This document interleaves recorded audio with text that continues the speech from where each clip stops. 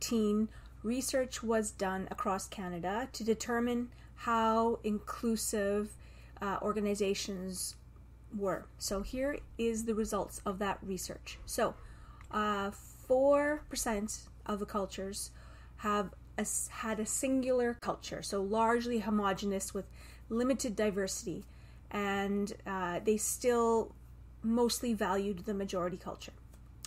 Uh, 24% of the workplaces were in compliance, and what that means is that view they view diversity as a problem, and it's a numbers based.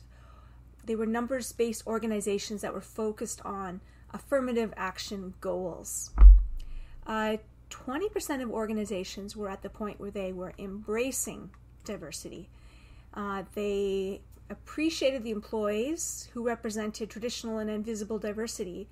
Um, and they met the challenge of compliance requirements, but they really struggled to really optimize on the diversity, to really make the most out of it. 40% of organizations were at a stage that's considered to be collaborative. They had begun to understand the value of a diverse workforce, and they had taken initial steps to engage diverse employees in talent and business initiatives. And employees reported that they felt like their opinions were uh, valued.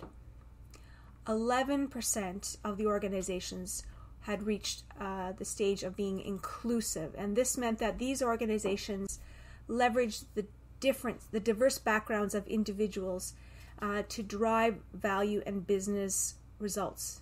Employees reported that they felt involved, respected, valued, and connected, and were able to bring their authentic selves to the team. They didn't have to uh, modify who they were in order to be successful in that work.